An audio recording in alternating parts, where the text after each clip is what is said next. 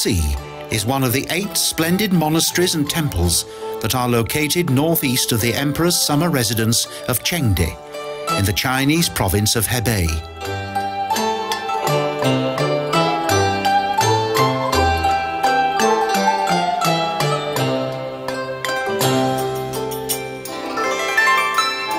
During the 18th century, Manchu Emperor Kangxi ordered the construction of the Great Palace and its surrounding eight outer temples.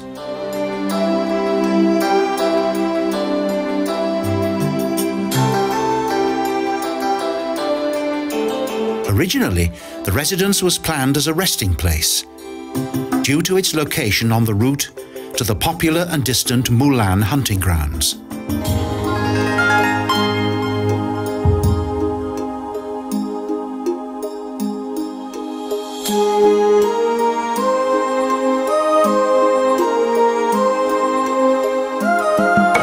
Chengde's political importance soon grew.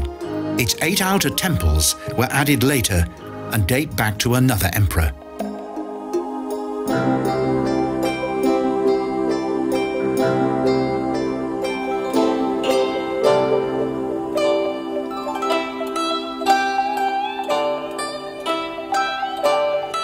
During the second half of the 18th century, the Chinese Emperor Qianlong brought much military and diplomatic success to his empire.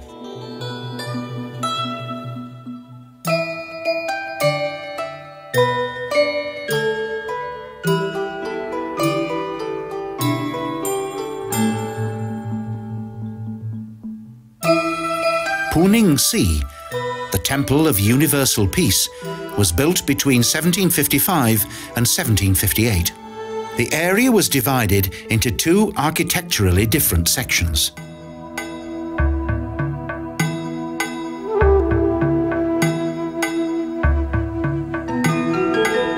Because the temple was constructed during the time of an important military event, its facade conformed to traditional Chinese Han design.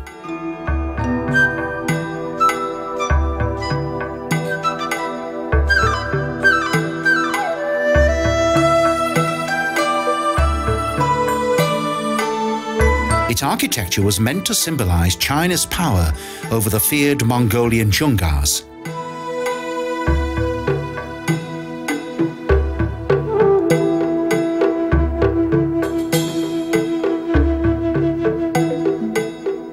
Artistic stonemasonry decorates the main hall of the Chinese section, of which the stele describe the great victory over the Dzungars' revolts in four languages.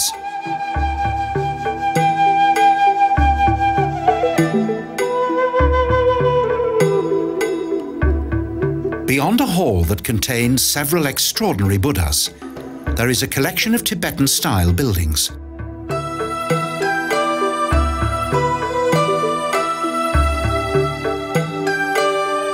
The buildings were not merely symbolic, they also served as the domicile for various Mongolian envoys.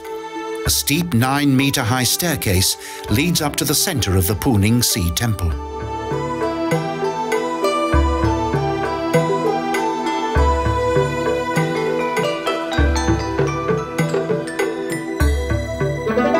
Military single-mindedness and diplomatic prowess distinguished Emperor Qianlong among all others. Thus, this structure naturally flattered the representatives of the Dzungars.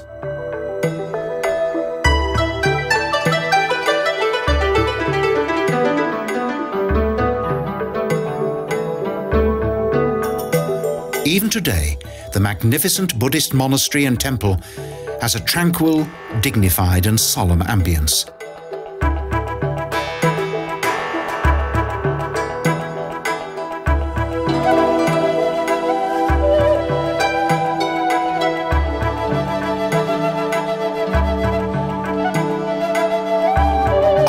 Qianlong, China became the mightiest and most prosperous nation in the world. For China, the 18th century marked the beginning of a golden age.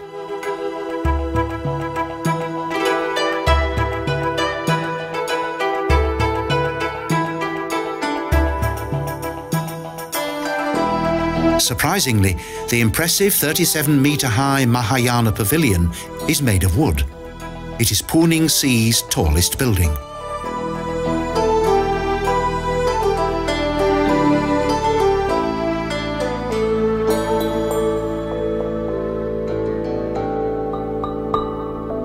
The first Buddhist monastery in Tibet, Samye, served as the architectural model for the rear area.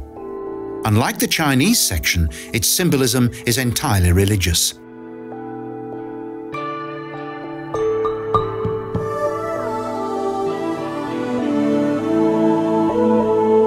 The Mahayana Pavilion represents the center of Buddhist religious belief, namely Sumeru Mountain. Thus, the five-story building is located in the middle of an architectural mandala.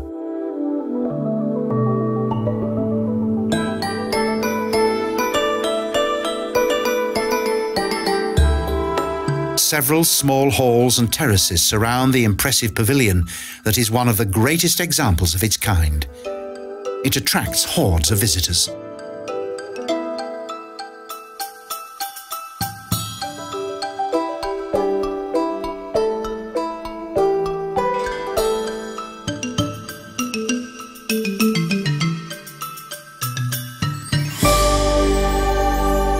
Each of the buildings in the Tibetan section of Puning Si possess a deeper significance with regard to their form, dimension and layout.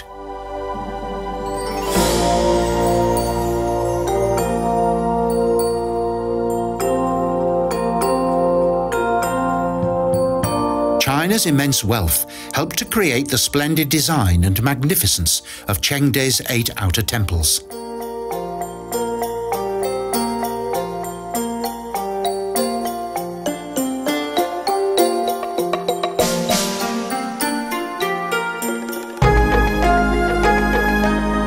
During this time, great use was made of space.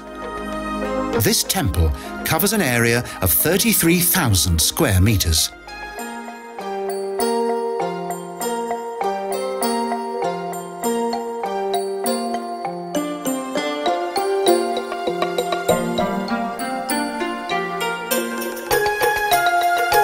Each one of the architectural elements that are situated close to the Mahayana Pavilion adhere to the disciplined structure of the Buddhist universe.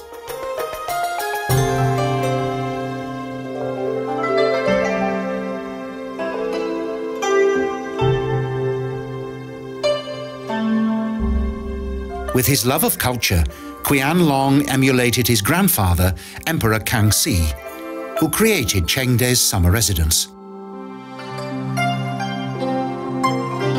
The architect's desire to find a harmonious relationship between both nature and buildings are evident to the present day.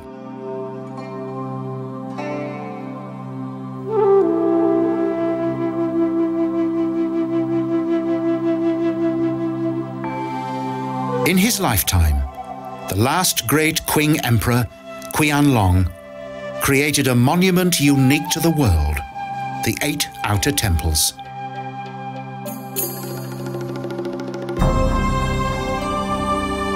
As is evident by the view to a picturesque hill, the location of Puning Si could not be more beautiful.